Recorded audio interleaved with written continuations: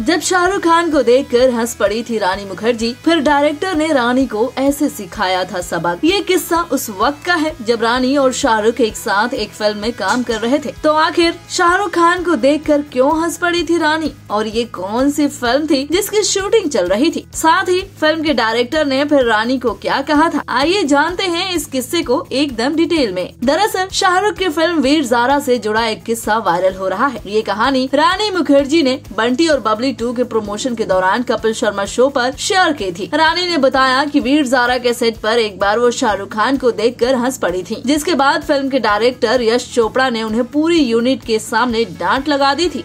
देखिए। फ़िल्म वीर जारा में शाहरुख खान और प्रीति जिंटा ने लीड रोल्स किए थे। फ़िल्म में रानी एक छोटे से रोल में नज़र आई थी। उन्होंने वीर के किरदार की वकील सामिया सिद्दीकी का रोल प्ले किया था। उनका रिलेशनशिप कुछ बाप बेटी जैसा दिखाया गया था, क्योंकि दोनों किरदारों की उम्र में काफ़ी फासला था। शाहरुख जहाँ एक बुज़ुर्ग का रोल कर रहे थे, फ़िल्म के बुढ़ापे वाले सीन्स में उन्हें सफ़ेद बालों में दिखना था। शाहरुख और रानी के बीच एक सीन शूट किया जाना था। जैसे ही शाहरुख अपना मेकअप वगैरह करके सफ़ेद बालों के साथ सेट पर आए, रानी उन्हें देखकर हंसने लगी। रानी को हंसता देख शाहरुख भी हंस पड़े। रानी ने बताया था कि शूटिंग का समय था, सब कुछ सेट था। सीरियस सीन शूट होना था। ऐसे में रानी को हँसी ठिठोली करते देख डायरेक्टर यश चोपड़ा भड़क गए। उन्होंने सेट पर सबके सामने रानी मुखर्जी को पूरी तरह से डांट दिया। इसके बाद सेट पर सन्नाटा पसर गया। इसी टेंशन वाले माहौल में फ़िल्म का वो सीन शूट किया गया, जो कि फ़िल्म के मूड के हिसाब से बिल्कुल परफेक्ट था। इस फ़िल्म में शाहरुख और रानी ने अलग अलग उम्र के किरदार निभाए निभाए थे, मगर उन्होंने अपने करियर में कुछ कुछ होता है, कभी खुशी, कभी गम। चलते चलते और कभी अलविदा ना कहना जैसी फ़िल्मों में हम उम्र किरदार निभाए हैं। और दोनों ने साथ में खूब रोमांस भी किया है। रानी और शाहरुख की जोड़ी को खूब दर्शक आज भी पसंद करते हैं।